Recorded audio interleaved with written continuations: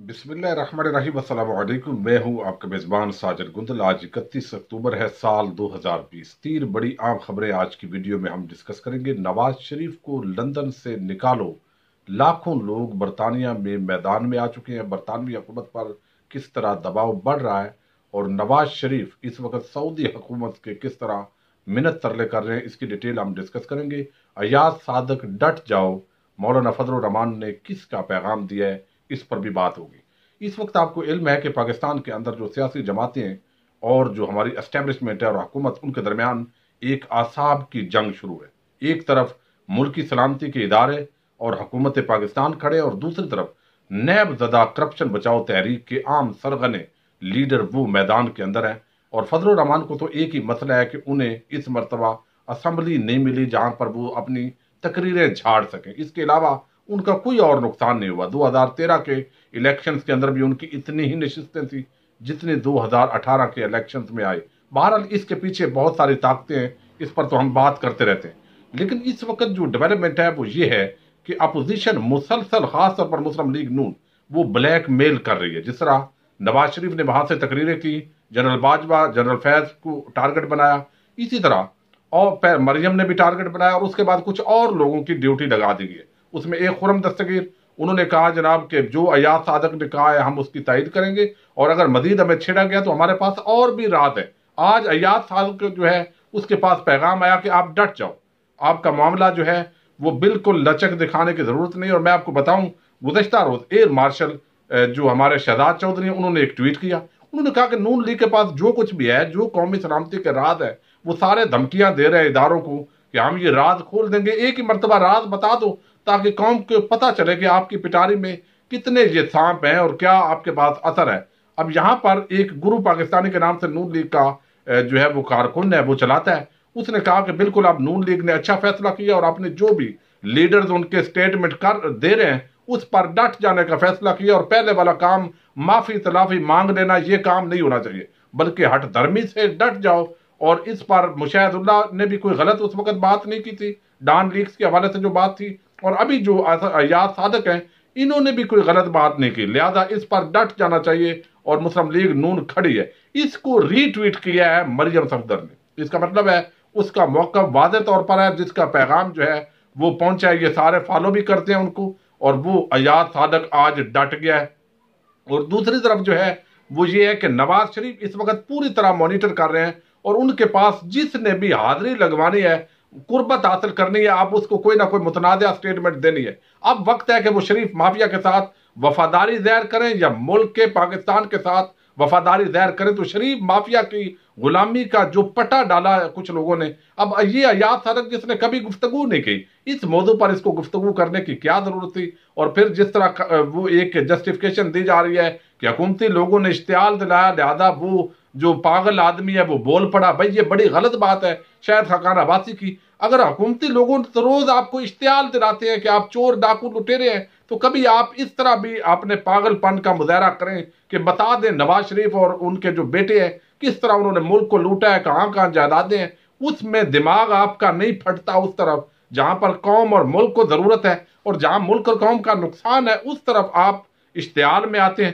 تو اب یہ معاملہ یہاں بڑھ گیا ہے کہ جو فضل الرحمان ہے، انہوں نے نواز شریف کا اور مریم کا ساتھ ہی پیغام پہنچایا آپ ڈٹ جاؤ اور اگر ابھی آپ نے معافی مانگی تو اس پر ہمارے خلاف میڈیا میں بھی اور جگہوں پر بھی بڑا جہاں سے ہمیں پرموٹ کیا جا رہا ہے، تو وہاں ہماری سمکی ہوگی، لہذا آپ نے ڈٹ جانا۔ آج جو ایاد صادق اور فضل الرحمان اور رانا ثناء اللہ اس طرح کے لوگ تھے جو ملاقات ہوئی ہے، اس کے اندر دیکھیے کہ یہ کتنی عام بات ہے۔ فضل الرحمان کا ایاد صادق کے ساتھ ملنے کا کوئی تک بنتا ہی نہیں تھا۔ وہ کسی عام مسلم لیگی نون کے اور لیڈر سے بات کرتے، ملتے، لیکن لاہور کے اندر تھے، میں نے آپ کو بتایا۔ نواز ایک تو عمران خان کے حوالے سے بد دعائیں کر رہے ہیں اور دوسری طرف وہاں پر جا کر ملے اور یہ واضح طور پر میسج دیا ہے کہ آپ نے ڈٹ جانا ہے، گرنا نہیں ہے۔ اب یہاں پر جو ہے، انہوں نے آج پھر گول مول جو سٹیٹمنٹ دے رہے ہیں، وہ کہتے ہیں، میرے پاس اور بھی بڑے راز ہیں۔ ایک طرف یہ بھی دھمکی ہے، لیکن میں بتاؤں گا، نہیں، میں بڑا ذمہ دار آدمی ہوں۔ حکومت یہ کوشش کر رہی ہے کہ ہماری فوج کے ساتھ ٹسل بنا رہی ہے اور اس معاملے کو غلط گڈ مڈ کیا گیا ہے۔ میری سٹیٹمنٹ کو میرا یہ مقصد نہیں تھا اور میں نے اس میٹنگ کے اندر نہیں تھا بلکہ میں نے پرائیویٹلی شاہ محمود سے میری بات ہوئی اور اس جگہ کی بات ہے۔ اب یہ گول مول کرنے کا کیا مطلب؟ ایک دفعہ آپ بکواس بازی کریں اور اس کے بعد کہیں ہمارے جو الفاظ ہیں وہ توڑ بروڑ کر پیش کر دیے گئے۔ یہ ایک طریقہ واردات ہے، ایک طرف آپ دھمکا رہے ہیں دوسری طرف آپ کہتے ہیں ہمارے اندر لچک بھی ہے، مذاکرات کرو، واضح طور پر این آر او مانگا جا رہا ہے، لیکن ریاستی ادارے بالکل این آر او آپ کو نہیں دیں گے کیونکہ دوسری طرف بھی عمران خان کھڑا ہے۔ اب اور میں آپ کو بات بتاؤں، نواز شریف کے خلاف اب لندن کے اندر جو ہے وہ کیا ہو رہا ہے؟ لندن، آپ کو یہ بھی پتا ہے کہ لندن کے اندر اس وقت لاکھوں پاکستانی رہ رہے ہیں اور محب وطن لوگ ہیں، جو بیرون ملک رہتے ہیں اوورسیز ان کے اندر جذبہ زیادہ ہوتا ہے ملک اور قوم کے حوالے سے۔ چونکہ وہاں وہ محنت مزدوری کرتے ہیں، جس طرح کا بیہیو ان کو سامنا ہوتا ہے، تو وہ سوچتے ہیں، کاش ہمارے ملک کے اندر بھی کچھ اس طرح کی بہتری ہوتی۔ وہاں بھی روزگار کے مواقع ہوتے، تو ہم بیوی بچوں کو گھر بار کو چھوڑ کر یا رشتہ داروں کو چھوڑ کر یہاں پر نہ ہوتے۔ تو یہ جو ایک جذبہ ہوتا ہے، وہ بڑے سینسٹیو ہوتے ہیں پاکستان کے معاملات میں۔ اب ان کو پتا ہے کہ یہ چور ڈاکو لٹیرا یہاں سے اپنی اولاد کے ساتھ مل کر اربوں نہیں بلکہ خربوں روپے لوٹ کر یہاں لندن میں آ کر بیٹھا ہے، یہاں پراپرٹیز خریدی، آگے جو جزائر ہیں پاناما ٹائپ وہاں آف شور کمپنیز کے ذریعے پتہ نہیں کتنا کتنا مال کہاں کہاں پہنچ سکا ہے۔ ہم تو دو چار جائیدادوں کی بات کر رہے ہیں، جس کے کیسز ہیں۔ ورنہ ان کی جائیدادیں آف شور کمپنیز کے ذریعے تو سینکڑوں ہیں۔ تو انہوں نے کہا کہ برطانوی حکومت کے نام ایک پٹیشن جو ہے، وہ دائر کی گئی ہے اور اس پر دستخط لیے جا رہے ہیں۔ اس وقت ایک لاکھ سے زیادہ لوگ اس پٹیشن پر دستخط کر چکے ہیں۔ میں آپ کو مصدقہ اطلاع دے رہا ہوں اور اس پٹیشن کے اندر کہا گیا ہے کہ یہ نواز شریف قومی چور ڈاکو لٹیرا ہے۔ لہذا یہ ملک پاکستان کو واپس کیا جائے، یہ مجرم بھی ہے عدالت سے، تاکہ جائے اور عدالتوں کا سامنا کرے۔ اس کی ولی عید مریم صفدر جو ہے وہ بھی اس کے ساتھ باقاعدہ مجرمہ ہے اور یہ سامنا کرے اور جتنی بھی ان کی جائیداد ہے، یہاں برطانیہ میں وہ ضبط کی جائے اور پاکستانی حکومت کو واپس کی جائے۔ اس حوالے سے یہ جو پٹیشن ہے اس وقت ایک لاکھ سے زیادہ لوگ اس پر دستخط کر چکے ہیں۔ یقیناً جو پاکستان کے لوگ وہاں پر رہتے ہیں، وہ سمجھتے ہیں کہ اس سے حکومت پر ایک پریشر بلڈ ہو رہا ہے اور بہت زیادہ حکومت، ایک تو پاکستان کی حکومت اپنے طور پر اس حکومت سے رابطہ کر رہی ہے۔ عمران خان، وزارت خارجہ، مختلف جگہوں پر جو بات چیت آرمی چیف نے بھی کی ہے، غور ہوا رہی ہے، وہ اپنی جگہ لیکن وہاں کے اب مقامی پاکستانیوں نے، میں سمجھتا ہوں، زندہ باد ہے ان کے لیے۔ محب وطن لوگوں کے لیے اب وہ میدان میں آ چکے ہیں۔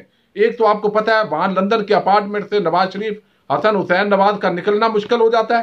اور دوسری طرف جو ہے، یہ مہم کے اندر ایک لاکھ سے زیادہ دستخط ہوئے۔ برطانوی حکومت اب دباؤ کے اندر اگر آ جاتی ہے، جس طرح اب فیٹف کے معاملات ہیں، بین الاقوامی پابندیاں ہیں پریشر بڑھتا ہے، تو پھر نواز شریف ساتھ ہی سعودی عرب کا منت ترلا انہوں نے کرنا شروع کیا ہوا ہے۔ ایک تو ان کے بیک ڈور رابطے ہیں۔ اس حوالے سے ذرائع کے حوالے سے بہت ساری جو خبریں ہیں وہ آ رہی ہیں مختلف جگہوں پر۔ لیکن دوسرا، آپ نے نوٹ کیا ہوگا جب بھی وہ کوئی تقریر کرتے ہیں، نواز شریف ہمیشہ یہ ذکر کرتے ہیں کہ آپ نے سعودی عرب کے ساتھ پاکستان کے تعلقات خراب کر دیے۔ سعودی عرب کے ساتھ یعنی وہ یہ شو کرواتے ہیں کہ میں اصل میں سعودی عرب کا نوکر ہوں اور وفادار ہوں اور ہمیشہ میرا یہ جو ہے وہ بنتا ہے۔ حالانکہ جو شاہ محمود قریشی صاحب نے بات کی تھی، وہ تو کشمیر کے حوالے سے بات تھی۔ وہ تو انہوں نے غیرت اور عزت کی بات کی کہ ہم سعودی عرب ہمارا برادر ملک ہے، لیکن جس طرح اس نے ہماری تدلیل کی ہے، وہ مناسب نہیں ہے۔ اور وہ کشمیر کا مسئلہ تھا کہ او آئی سی کا اجلاس نہیں بلایا، اس میں غلط بات تو نہیں تھی جو انہوں نے شکوہ کیا۔ تو اب وہ بار بار جو سعودی عرب کو پیغامات بھی پہنچائے جا رہے ہیں، اور ساتھ ہی یہ جو تقریر ہے، اس کے ذریعے بھی ایک پیغام دیا جاتا ہے کہ میں آپ کا وفادار ہوں، اگر مجھے نوکری کا موقع دیا جائے تو انشاءاللہ آپ دیکھیں گے، عمران خان کو ہٹانے میں مدد کرو اور اس کے اندر آپ دیکھو، میں کتنی بہتری لے کر آتا ہوں۔ آپ جو چاہیں گے ہوگا، اسرائیل کو تسلیم کرنا ہوا، وہ بھی کریں گے۔ اور یہ وہ لوگ ہیں جو ایٹمی اثاثے بھی بیچ سکتے ہیں۔ اگر یہ فوج اور ہمارے عسکری اداروں کا اس پر کنٹرول نہ ہوتا۔ تو اب یہاں پر یہ راز جس طرح فاش کرنا چاہتے ہیں، تو سعودی عرب کو جو ہے اگلا ان کا ٹھکانہ کیا سعودی عرب ہو سکتا ہے؟ اس حوالے سے بھی کافی چھ مگوئیاں ہیں۔ بہرحال برطانیہ سے ابھی ان کو نکالنا بظاہر مشکل ہے، لیکن بہرحال اس پر حکومتی سطح پر اور مقامی وہاں پر اب بہت بڑی ایک تحریک کا آغاز ہو چکا ہے۔ دیکھتے ہیں، اگر وہ برطانیہ سے نکلتے ہیں تو اگر ان کو سعودی عرب پناہ دیتا ہے تو یقیناً پھر بھی سعودی عرب اور پاکستان کے تعلقات پر اس کا ایفیکٹ ہوگا۔